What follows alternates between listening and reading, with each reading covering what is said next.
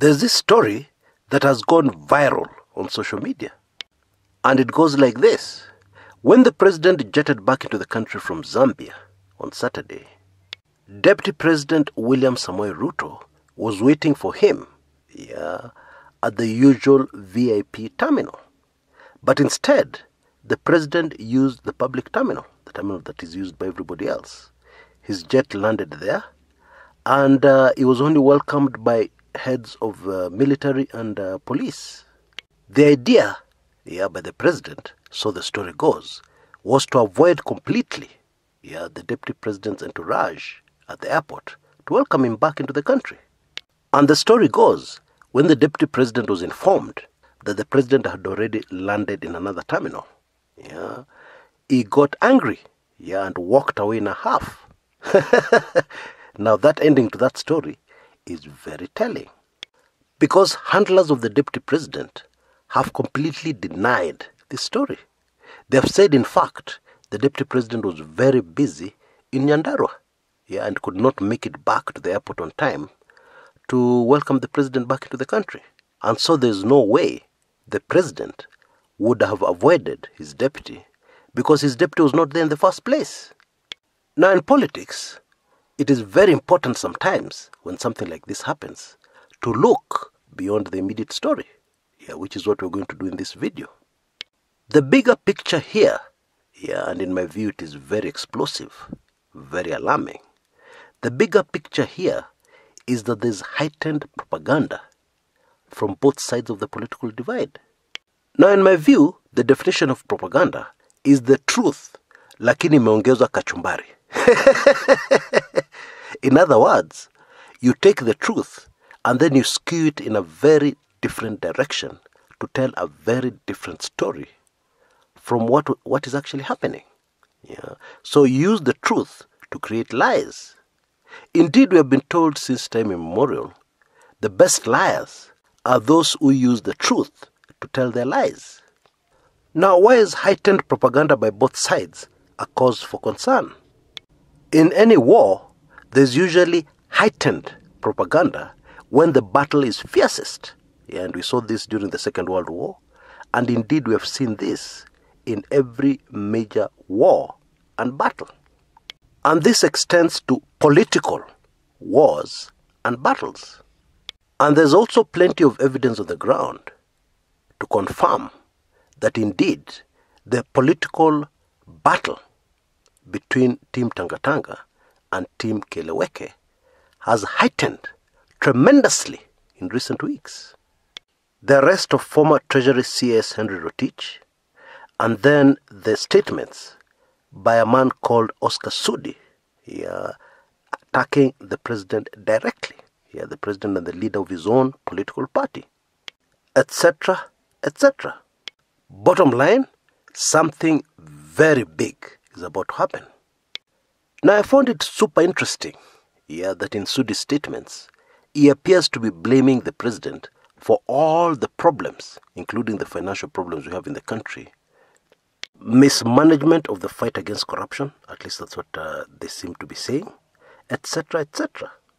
Now, the reason why I find this interesting and indeed hypocritical is because this is like a wife who takes charge of the house, makes some wrong decisions, and then when things go bad, they start blaming everything on the husband.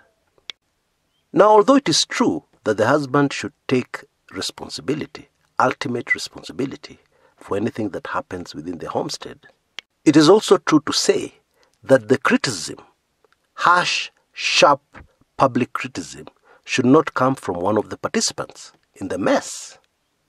Now, a lot of the problems we're facing today as a country yeah, were hatched, yeah, birthed between 2013 and 2016. Yeah, in the first uh, few months, indeed in the first uh, two, three years of the Jubilee administration. And who was calling the shots in the first two, three years of the Jubilee administration? Well, everybody knows that answer. It was Deputy President William Samoei Ruto.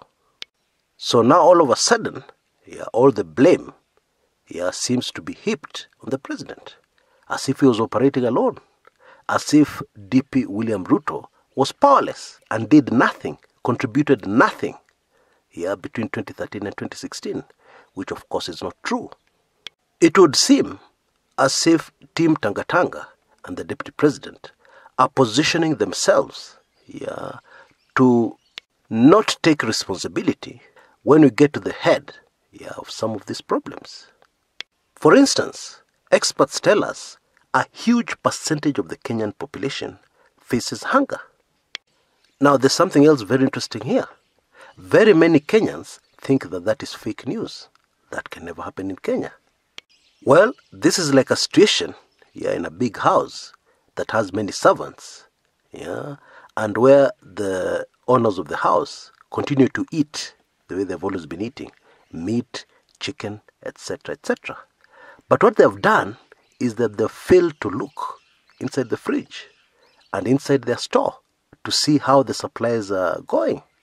And these owners of the house are myopically refusing to take the brief, very short walk to the fridge and the store to check the situation. This is exactly how any Kenyan who does not believe that we are about to face unprecedented food problems in the country is behaving. They're assuming that just because we're eating as normal, yeah, everything is normal, even with supplies. Actually, it is not. Some people are even saying that what the government is doing is trying to make way, yeah, organize an environment for new corruption.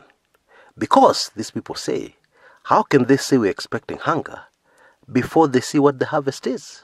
Yeah, because uh, the harvest expected in various parts of the country. So why not wait for those farmers to bring in the harvest?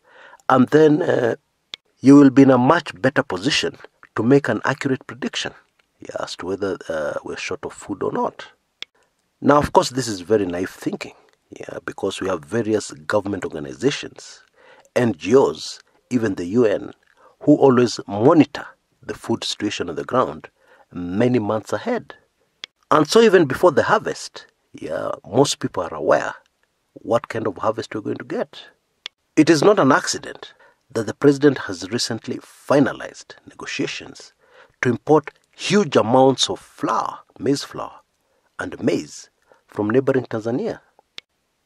Anyway, things are about to get very bad in Kenya, and it seems that Team Tangatanga is preparing itself yeah, to completely remove themselves from any responsibility yeah, concerning what is about to unfold in Kenya.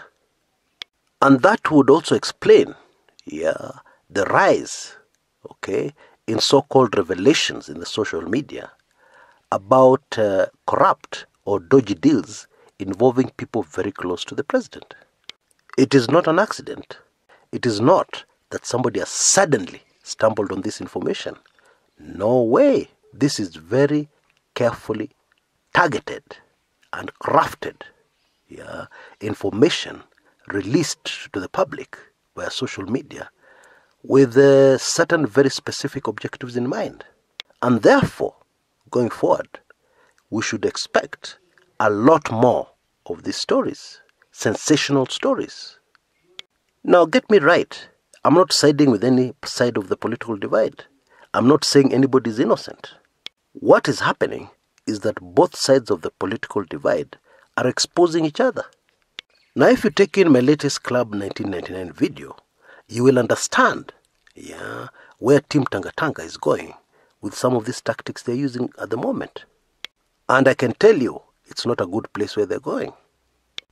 Now, the huge problem which should worry every Kenyan is that history has shown us that in some of these uh, big political battles yeah, between two sides of a political divide, what happens is that in the end, decisions are made that ignore the welfare of ordinary Kenyans.